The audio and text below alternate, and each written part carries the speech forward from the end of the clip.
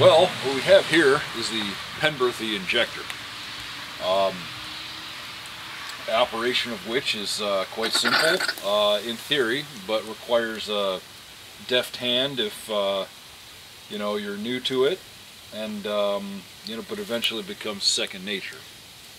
Ultimately, you need to know you have three in, uh, three legs of the injector, or rather four legs of the injector. Uh, right now, we don't have this hooked up, but um, you have your steam in, your water in, and your discharge water. uh, Is that what you call it? The discharge. Yeah. Discharge out and and overflow. overflow. Um, two things need to be uh, operated when uh, running the injector, depending upon your uh, the the the personality of the injector. Uh, some are uh, easier than others, and uh, some require a little bit more finesse than others. Um, but you need to uh, ma- uh, balance the water in and the steam in to find the right balance to optimize the uh, injector Performance. performance, essentially. essentially. Uh, so right now, what we're going to do is going to add a little bit, to see what we're low with the uh, water. Gonna pretty much the way I like to do it is I just like to open the water completely, make sure my discharge is open completely. It likes to, you know, spit and dribble and give me a little heads up that it knows that I'm I'm here. So with everything open, I go ahead and give it a little steam, monitoring the uh, water level and a little bit on the uh, second eye on the uh, pressure, but somewhat less relevant. So we're going to open this up and then it's going to develop a vacuum. It'll develop a vacuum, start injecting uh, water, we'll have an overflow, and then we'll uh, react by restricting the um, water input to keep the overflow from overflowing. So here we go. You can put this on and then react with this.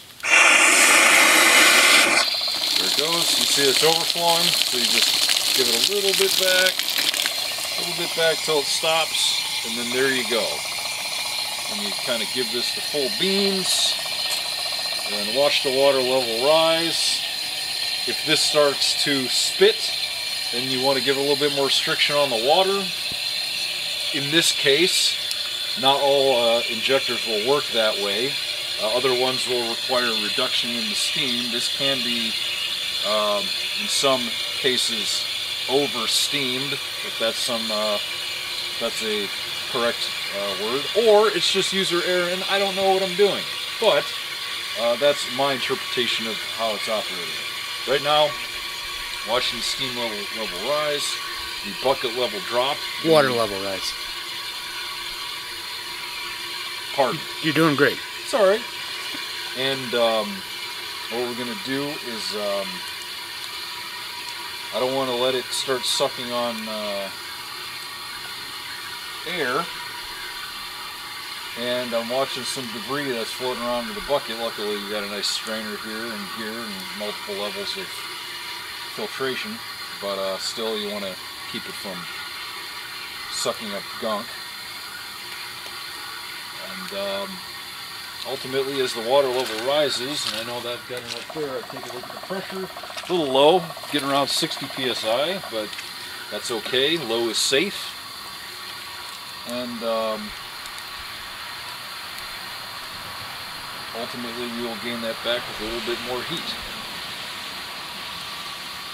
And we're going to reach the bottom of the bucket, and we'll show you what happens when it starts sucking air and it'll start to complain it'll let its its anger be known. Any second now. In three two one it's reached the filter and right about now. There you go